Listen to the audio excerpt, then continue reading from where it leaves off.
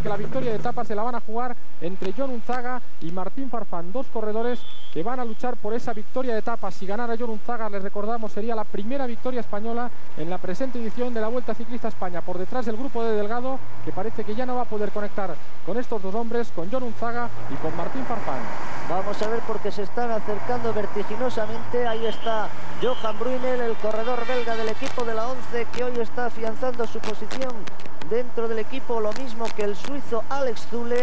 Sensacional este joven corredor. Ahí están John Unzaga y Martín Farfán acercándose a los últimos metros de esta larga, larguísima jornada, la más larga de la Vuelta a España, 240 kilómetros. John Unzaga que lanza el sprint, que intenta sorprender a Martín Farfán. Lógicamente la victoria debe ser para el corredor de Yodio. Él es mejor llegador que Martín Farfán. Victoria en efecto para John Unzaga, segunda posición para Martín Farfán.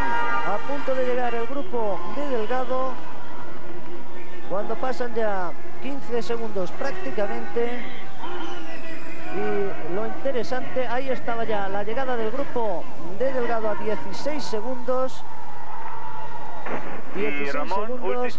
adelante, adelante Juan Carlos. Ramón, últimos metros también para Montoya con quien va Pello Ruiz Calestani y vemos eh, también a Miguel Arroyo, los tres hombres que van a entrar ya en los últimos metros.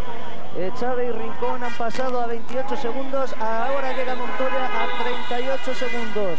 Nuevo líder, nuevo líder, por tanto, en eh, la clasificación vamos a ver porque entre Brunel y el grupo de Montoya ha habido 22 segundos 22 segundos, por tanto se mantiene Jesús Montoya como líder.